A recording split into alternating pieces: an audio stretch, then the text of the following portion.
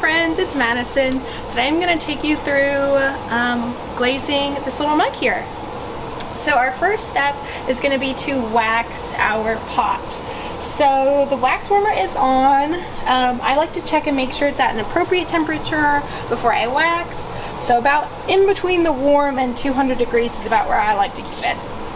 So in order to avoid any splashing, I'm gonna try to set my piece in gently so I don't disturb and ripple the wax because I don't want that ripple line on my piece. So I'm gonna slowly set this mug in here. Try to avoid those little burps. And I actually like to let it sit in the wax for like a second or two to help that line even out as the clay absorbs that wax.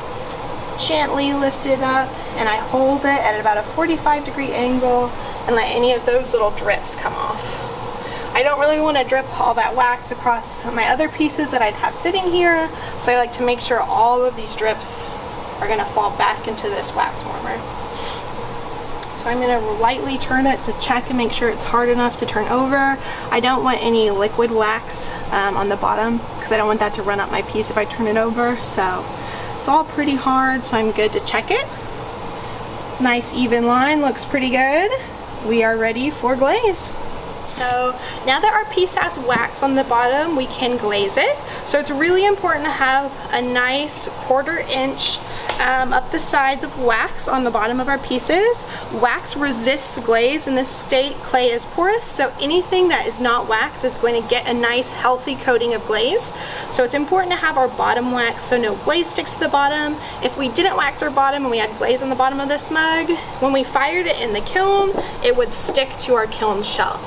So that's why wax is really important and that's also why waxing up a quarter inch is also really important.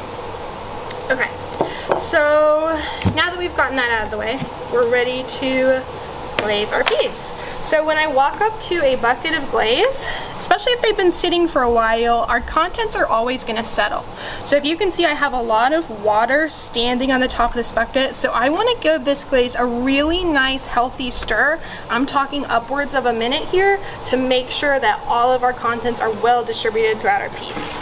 Um, making sure our glazes are well stirred helps prevent like a patchy application of glaze. If you've ever had a piece that kind of turns out brown or you can see clay through your glaze in some areas, it might be because the glaze wasn't stirred well enough. So I'm to be here for a little bit stirring this and we'll check back in once we're done.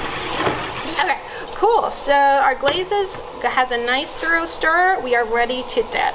Now we keep our glaze slightly on the thicker side, so we like to teach a quick in and out um, dunk. And that'll be a nice layer of glaze on our piece and it'll give nice good coverage.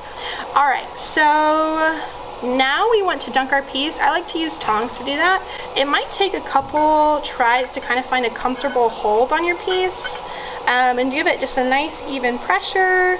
Make sure it's stable there. We're good to go. Now I'm gonna do a nice quick in and out dunk here. I don't wanna linger in and out.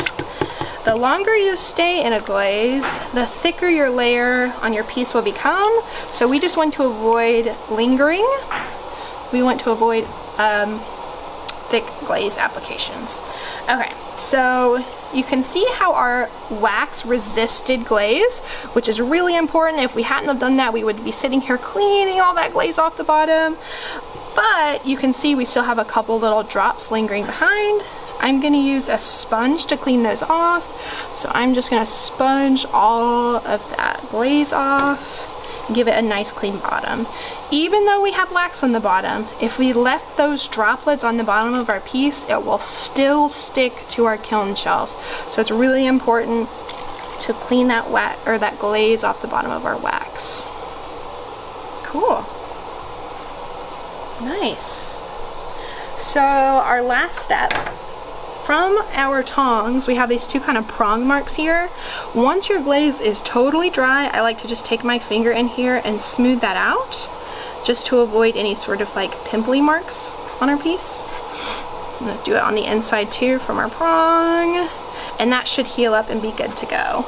I have a couple little pinholes that I might smooth out here I like to do any sort of sanding over glaze buckets or even over our glaze cleanup bucket in the sink just so all that dust that we're making goes back into the glaze or it goes into water. Sweet. And there's your mug.